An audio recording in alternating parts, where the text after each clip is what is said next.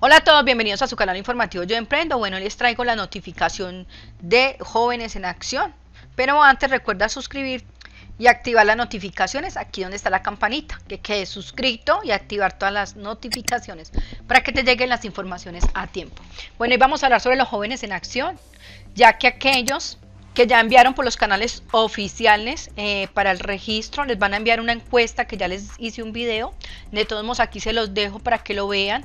Sí, una encuesta en la cual le piden información de si tiene CISBEN, eh, si está matriculado en el SENA. Bueno, una encuesta que es esencial para estar en, eh, para ya realizar el preregistro de jóvenes en acción. Aquí dice confirmación preregistro jóvenes en acción. Apreciado joven, nos permitimos informarle que el preregistro del programa en jóvenes en acción ha sido realizado exitosamente. Para validar su preregistro y pasar a estado registrado en el programa jóvenes en acción, te invitamos a acceder al siguiente link para cargar una copia escaneada legible de tu documento de identidad al 150 en formato PDF y debe responder una encuesta de entrada. Los datos para iniciar en el sistema de información de jóvenes en acción SIJA son el nombre de usuario, se los dan y la contraseña. Una vez hayamos verificado el cargue de su documento de identidad, la consistencia de sus datos, identificación personal y el diligenciamiento y cuestionamiento central, estaremos informando por este medio si su preregistro fue validado y si se encuentra en estado registrado en el programa Jóvenes en Acción. Respetado ciudadano, este correo ha sido generado por un sistema de envío. Por favor, no responda al mismo. Entonces aquí dice la página web, la línea gratuita de servicio de prosperidad social que será un 8951 100 595 44 días, mensaje de texto 85594 y aquí están las redes sociales. Bueno, en este caso, este joven hizo la validación por el 85594, envió un mensaje y ahí le respondieron y le dieron el enlace de la encuesta. Entonces aquí nos vamos a dirigir acá. Importante, aquí deben de escribir el correo electrónico y la contraseña enviada. ¿Listo? Y aquí le damos clic en ingresar.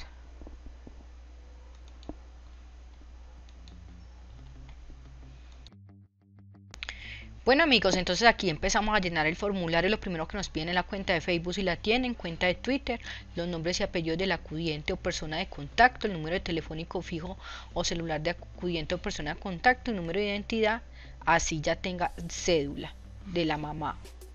Listo, entonces aquí ya pasamos a siguiente sección.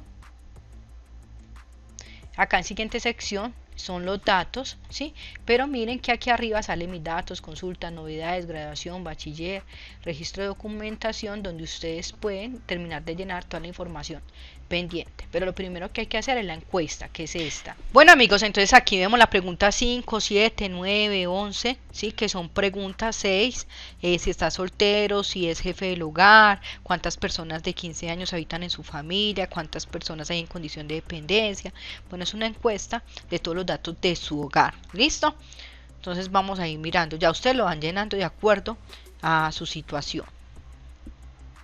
Bueno, aquí vamos viendo otro tipo de preguntas, los cuales ustedes deben de llenar. ¿sí? Esto lo hago rápidamente. 27, cómo definir las condiciones en su hogar cuando usted tenía 10 años de edad, los ingresos de su hogar. Y aquí vemos la 27, cómo definiría las condiciones de vida. Según sus condiciones de vida, usted coloca las respuestas. ¿Listo? Es importante que las vean. Yo aquí les estoy pasando como rápidamente, pero ustedes contestan las preguntas. Bueno, aquí no hay preguntas ni buenas ni malas. Es importante que usted responda de acuerdo a su situación y también de acuerdo a lo que usted desea y quiere para qué quiere estudiar, para qué quiere este programa de jóvenes en acción, ¿sí? qué quiere usted en el futuro, en su trabajo, eh, quiere formar empresa, quiere trabajar fijo, ¿sí? Eh, si ha trabajado, si no ha trabajado. Las condiciones de todos son muy diferentes, así que depende de eh, su situación. Bueno, entonces aquí seguimos con las preguntas sobre si usted alguna vez trabajó, cuántos son los ingresos de su hogar, los promedios y ya aquí siguen las preguntas y respuestas de autoeficacia, donde usted debe contestar eh, de acuerdo ¿sí? a su experiencia. Aquí no hay respuestas correctas e incorrectas, uno es incapaz, dos es poco capaz, tres es medianamente capaz, eh, cuatro muy capaz y cinco completamente capaz. Entonces usted va respondiendo una a una, son eh, muchísimas preguntas, entonces deben de estar muy concentrados por favor. Recuerde que no hay preguntas buenas ni malas, pero deben de estar atentos y contestarlas todas. Bueno, estas ya son las últimas preguntas, eh, que si siente que es una persona digna de aprecio, está convencido de que tiene varias cualidades, bueno, ustedes ahí agregan según como ustedes sean, ¿sí? Entonces es importante que sean muy honestos, ¿sí? Muy honestos con estas respuestas.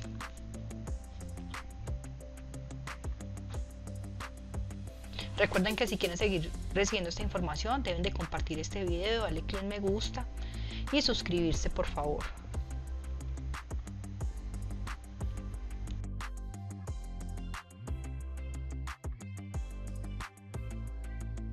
Bueno amigos, aquí es muy importante que usted seleccione eh, el archivo. Aquí dice el tema para confirmar el registro, o sea, el documento de identidad. Es muy importante que lo hagan desde documentos, que sea en PDF, lo cargan y si no tiene observación simplemente pone ninguna y le dan clic en actualizar. Recuerden que debe de estar en PDF. Aquí ustedes pueden ver el documento cargado que efectivamente sí sea y le dan clic en actualizar.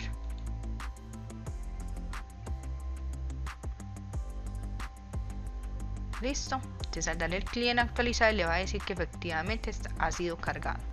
Importante también colocar la fecha de expedición del documento de identidad y que el tamaño no supere los 512 kilobytes. Bueno, entonces ya aquí me devuelvo acá y voy a mis datos nuevamente o simplemente le doy clic aquí en atrás y aquí donde dice graduación de bachiller ustedes pueden cargar también la fecha que se graduaron colocar la fecha eh, el establecimiento educativo, el departamento, el municipio, el nombre del establecimiento, seleccionan el archivo y le dan clic en guardar la imagen. Entonces es importante que se estar pendiente aquí donde le informen las novedades, pendiente, listo.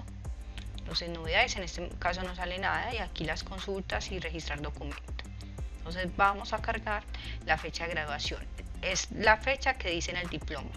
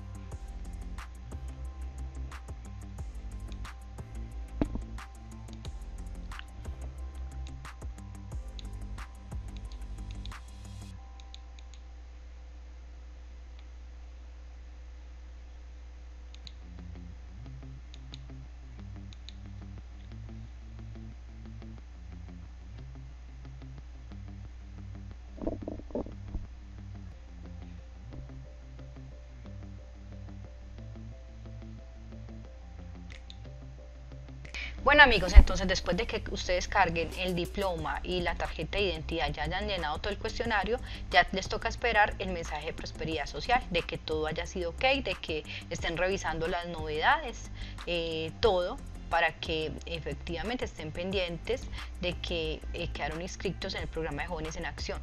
También les recomiendo un video en el cual ustedes pueden eh, mirar la primera parte donde indico cómo eh, solicitar eh, la inscripción a Jóvenes en Acción, que lo primero que ustedes hacen a través de las líneas de prosperidad social o a través de mensaje de texto 85594. Bueno, y aquí hay un otro video donde dice ya comenzó el registro jóvenes en acción.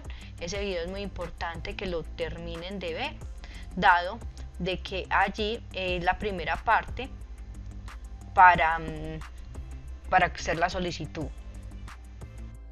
Bueno amigos, entonces no siendo más, eh, recuerden activar las notificaciones, suscribirse, compartir este video para que más personas eh, sepan cómo realizar esta inscripción y bueno, no siendo más, muchas bendiciones para todos. Y recuerden tener presente la línea de prosperidad social para la preinscripción. Muchas bendiciones para todos.